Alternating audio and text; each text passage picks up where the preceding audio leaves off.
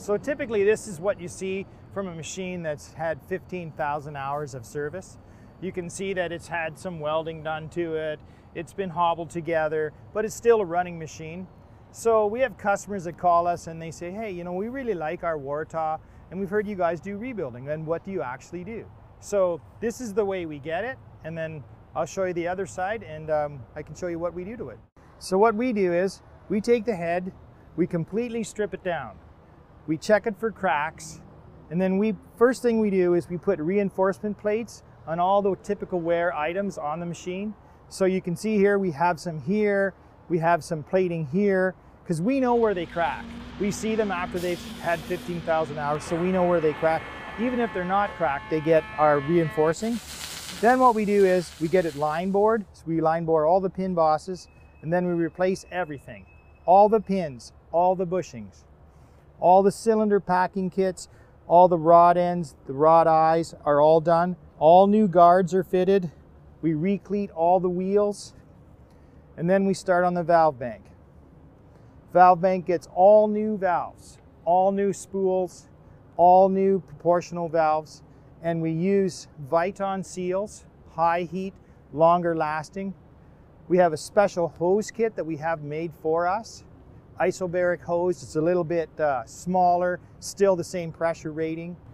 We also use an extreme temperature bladder in our um, accumulator. We also have some different things that we put on. This is our design of an oil fill cap. We put a chain on it, so now you don't lose it. Fixed motor manifolds for relief are, are put on if the machine doesn't already have it. It's another upgrade that we do. We have a heavy duty hose swivel that we put on.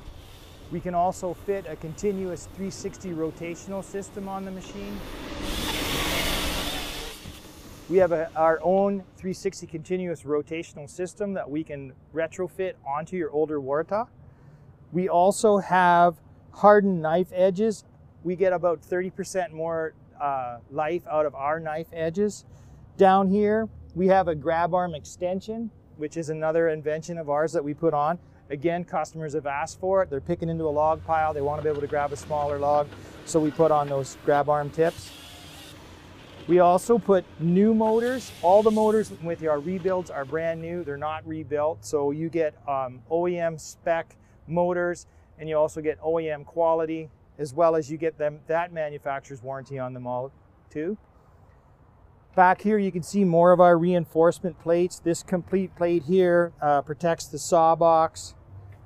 We also redo the uh, head modules with our own wiring. We have a, a, wire that we get built specifically for us that's cold weather rated, so it's not going to crack in the cold and it's not going to break in the heat.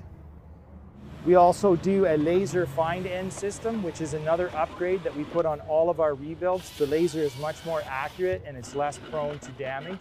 So you get a, a better measuring. So when you choose an Axis rebuild, we can give you the same warranty as you would get with a new head. We can give you better quality. We can give you a faster running head. We can give you all the features that you would get on a new machine at half the price.